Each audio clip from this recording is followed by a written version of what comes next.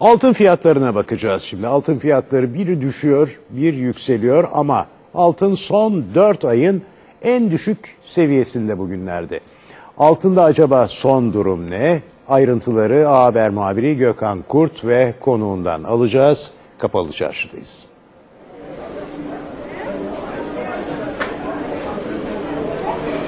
Evet sizin de dediğiniz gibi altın rakamları dalgalanıyor. Bir zamanların güvenilir limanı olarak bilinen altın son 4 ayın en düşük düzeyinde. Peki bu rakamlar neyi işaret ediyor ve önümüzdeki günlerde bizi neler bekliyor? İşte bu soruların yanıtını para ve piyasa uzmanı Sayın Volkan Kuyucuğa soracağız. Efendim yayınımıza hoş geldiniz öncelikle. Altının seyri ne olacak? Şimdi altına baktığımız zaman e, son gelen tarım dışı istihdam rakamları birazcık e, piyasada karışıklığa neden oldu. Çünkü çok iyi gelen bir veri. E, Amerika'nın e, olası faiz artışını Aralık ayında e, yaklaşık olarak %70 seviyesine yükseltti. No, faiz arttırım ihtimalini. Tabii bu süreçte altın e, birazcık daha son dönemde Amerikan tahvillerinde yaşanan faizlerin yukarı gitmesiyle birlikte biraz savunmasız kaldı gibi görünüyor. 1085 seviyesine kadar geriledik. Altında aşağı yönlü hareket devam edebilir.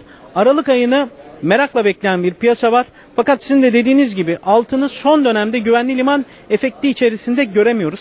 Ee, Yunanistan meselesinde dahil e, altın bir türlü güvenli liman gömleğini üzerine doğru giyemedi. E, bunda da e, birazcık Amerika Fed'in faiz artış e, ihtimalinin de etkisi var.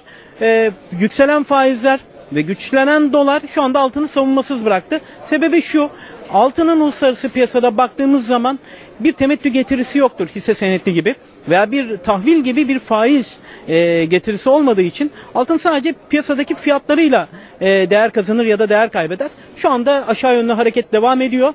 E, 1000 dolar seviyelerine kadar onsun faiz artışı ile birlikte güçlenen tahvil faizleriyle birlikte gerileme ihtimalinin kapısı şu anda açık.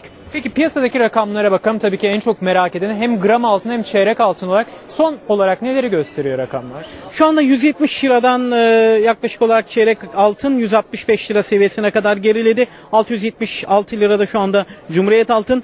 E, son dönemde 110 liraydı altının gramı. E, gram fiyatlarının da yaklaşık 102 lira seviyesine kadar gerilediğini görüyoruz.